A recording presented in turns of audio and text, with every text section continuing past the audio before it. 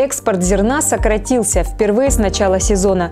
Перспективы подсолнечника тревожат маслозаводы. Российским аграриям выделили 10 миллиардов рублей на зерновые субсидии. Здравствуйте, дорогие друзья! Вы включили обзор главных новостей сельского хозяйства. Самое интересное расскажем прямо сейчас. В ноябре впервые с начала сезона сократился экспорт пшеницы из России. Еще в середине месяца аналитический центр Русагротранса прогнозировал, что вывоз пшеницы упадет до 4 миллионов 350 тысяч тонн. Но на деле вышло еще меньше. Россия отгрузила за рубеж всего 4 миллиона тонн зерна, из них пшеницы 3 миллиона 100 тысяч тонн. Вывоз зерна сократился на 37% по сравнению с ноябрем прошлого года, вывоз пшеницы на 44%. Такие данные привел Российский зерновой союз. Отгрузки были остановлены из-за шторма в конце ноября. Рейдовая перевалка по итогам месяца упала на 46%, а отгрузки из портов Новороссийска на 29% до полутора миллионов тонн.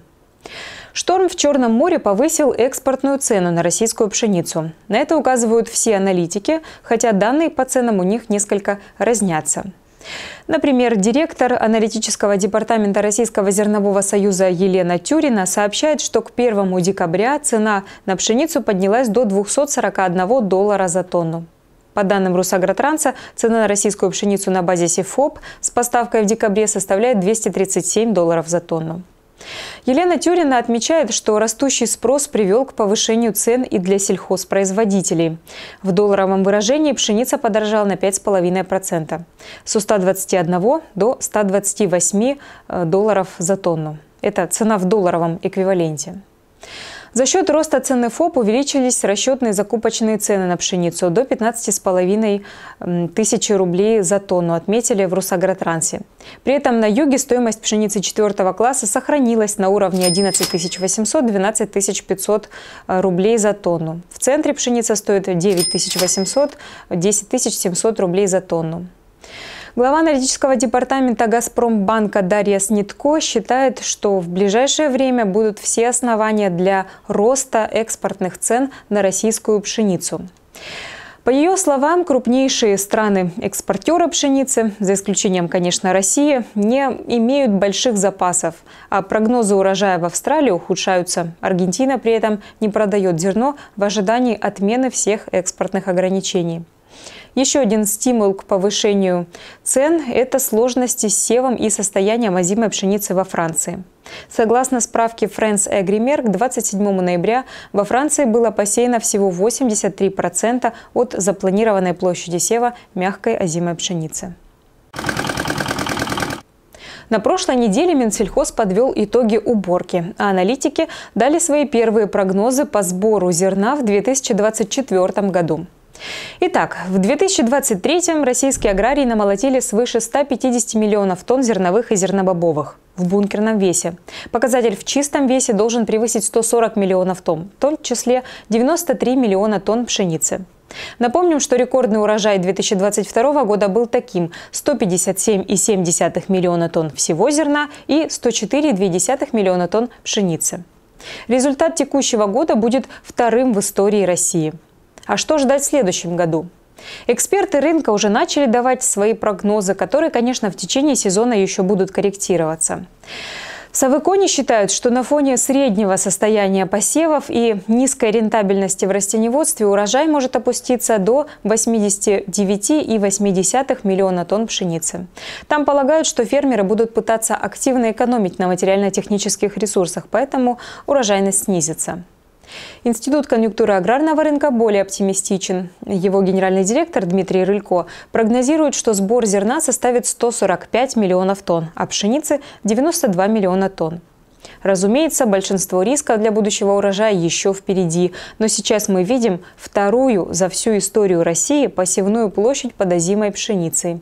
И ее в целом хорошее состояние, прокомментировал Дмитрий Рылько. К 24 ноября зимый сев был проведен на площади 18 миллионов 900 тысяч гектаров, что на миллион 200 тысяч гектаров больше, чем в прошлом году. Аналитический центр Усагротранса дает сразу два прогноза по сбору пшеницы. Оптимистичный и, скажем так, обычный. Общий сбор зерна прогнозируется на уровне 136,7 миллиона тонн. На конференции «Агротренды России» Игорь Повенский сообщил, что сев озимой пшеницы должен составить свыше 17 миллионов гектаров, что на 700 тысяч гектаров больше, чем в прошлом году. Пока прогнозы аналитиков выше тех урожаев, что в среднем получала Россия в последние годы. Так что если погода позволит, сбор пшеницы и в следующем году будет очень высоким. Минсельхоз России 11 декабря приступит к закупкам пшеницы и ржи в Государственный интервенционный фонд. Об этом сказал глава ведомства Дмитрий Патрушев.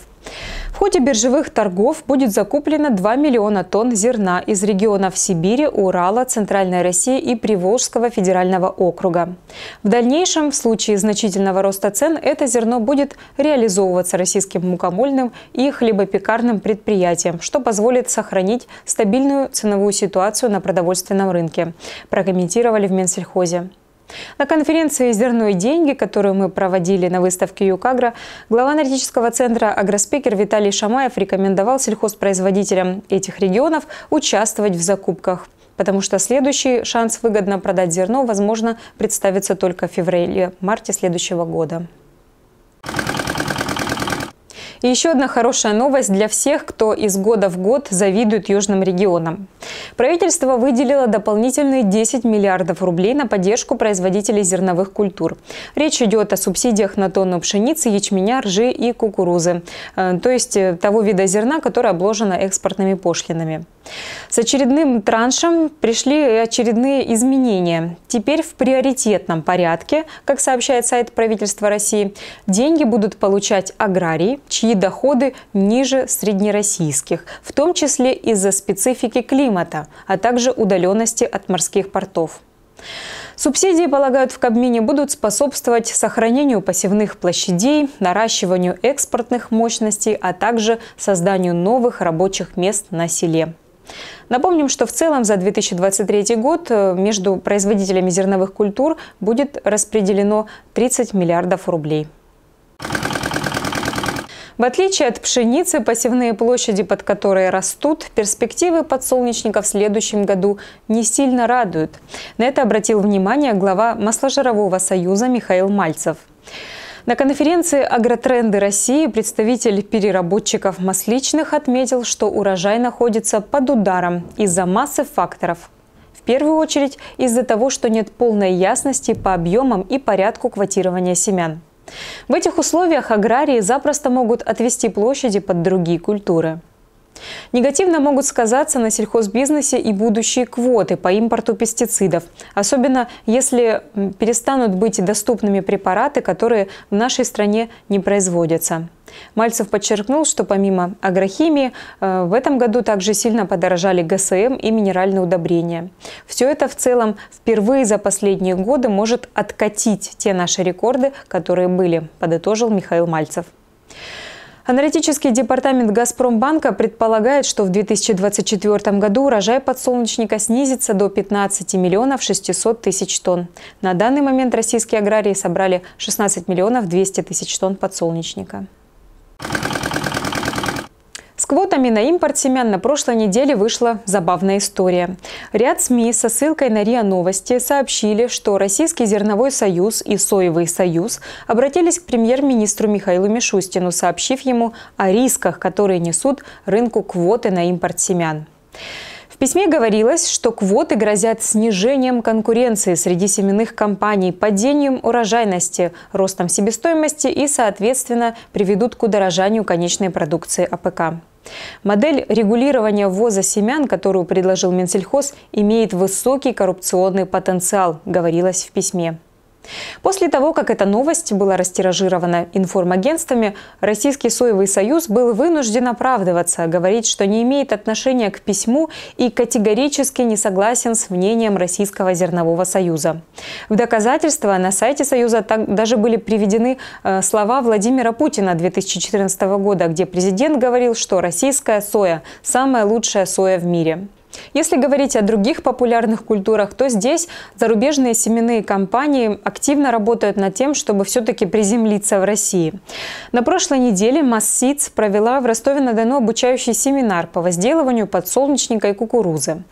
Руководитель региона Юг компании «Массиц» Мурат Засежев отметил, что компания предпринимает меры для того, чтобы локализовать производство семян в России. Трудностей с локализацией семян нет. Единственное, конечно, нам бы хотелось э, иметь возможность регистрировать новые гибриды, чтобы их тоже выращивать на территории Российской Федерации. Так что уж кому-кому, а производителям подсолнечника и кукурузы, наверное, переживать пока не стоит.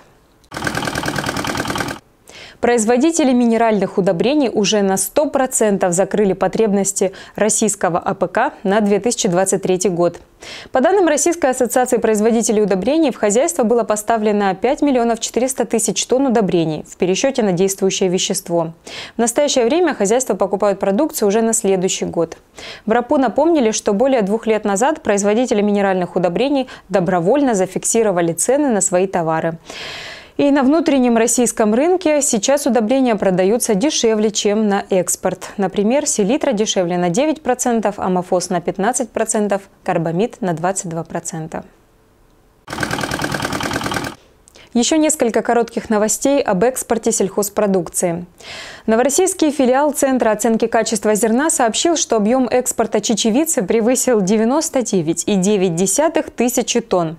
Большая часть агрокультуры была направлена в Индию и Турцию, Объединенные Арабские Эмираты, Пакистан, Алжир, Египет и Иорданию. Хотя в список вошли также Бахрейн, Эквадор, Шри-Ланка, Кения. И, неожиданно, Испания и Франция. Интересно, что Россия стала четвертым по величине поставщиком зерна в Европу после Украины, Бразилии и Турции. С начала сельхозгода Россия в 2,3 раза увеличила поставки зерна в страны ЕС, отгрузив 2 миллиона 230 тысяч тонн. 40% поставок зерновых и зернобобовых пришлось на Испанию, которая закупила э, почти 600 тысяч тонн гороха. 35% экспорта – это Италия, которая стала крупнейшим покупателем твердой пшеницы – 583 тысячи тонн. Наконец, 17% экспорта российского зерна пришлось на Бельгию. Эм, основное место в поставках заняли семена льна – 185 тысяч тонн. Эти данные предоставил аналитический центр Российского зернового союза. Ну и еще один рекорд – это успехи переработки. За 10 месяцев текущего года за рубеж было отгружено 990 тысяч тонн пшеничной и пшенично-ржаной муки. Россия увеличила экспорт этой продукции на треть, если сравнивать с аналогичным периодом 2022 года.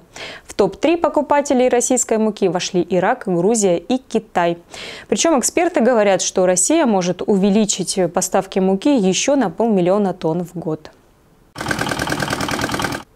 И последняя новость на сегодня. Правительство России расширило программу господдержки в области мелиорации. Это сделано для того, чтобы больше земель можно было вовлечь в эффективную сельхоздеятельность. Получить финансирование теперь смогут не только сельхозпредприятия, но также научные организации, которые проводят исследования в области селекции семеноводства, мелиорации земель и повышения продуктивности почвы. Кроме того, бюджет будет возмещать не 50%, а сразу 90% затрат на борьбу с эрозией почвы и засухой, на создание защитных лесопосадок и на работу по повышению плодородия сельскохозяйственных земель. С 1 января следующего года расширится перечень субсидируемых мероприятий в области химической мелиорации. В него добавятся работы по фосфоритованию и гипсованию почв. Так что если у вас есть планы улучшать плодородие и приводить в порядок лесополосы, обратите внимание на новые меры господдержки. Пора ими воспользоваться. На этом наш выпуск завершен. Спасибо за то, что ставите лайки и комментируете наши выпуски. Подписывайтесь на наш телеграм-канал и увидимся на следующей неделе.